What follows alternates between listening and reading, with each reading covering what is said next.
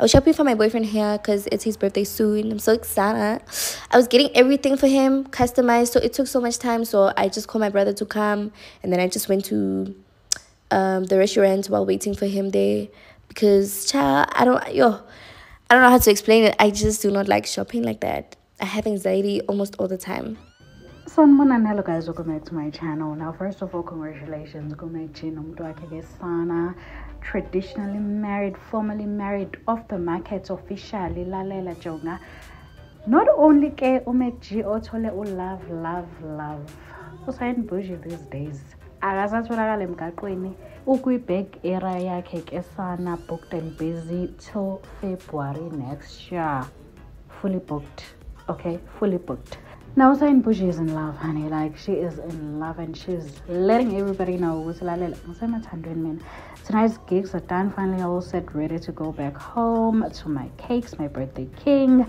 My i'm so emotional because of how happy and grateful i am to be in love with someone i could never retro someone that's just so cool and calm and super funny.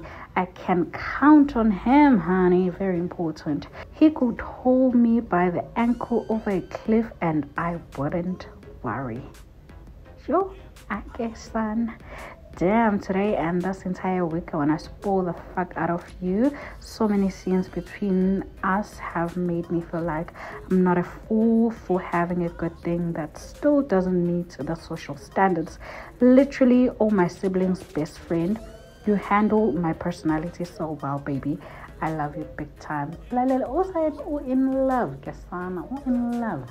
Now i also think that you know, her being booked and busy and her actually taking this whole DJing career seriously really sort of like opened her eyes and I can see, like I can see the change, Mna.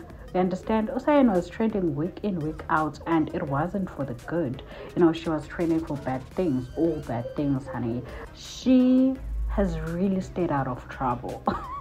like she has really stayed out of trouble.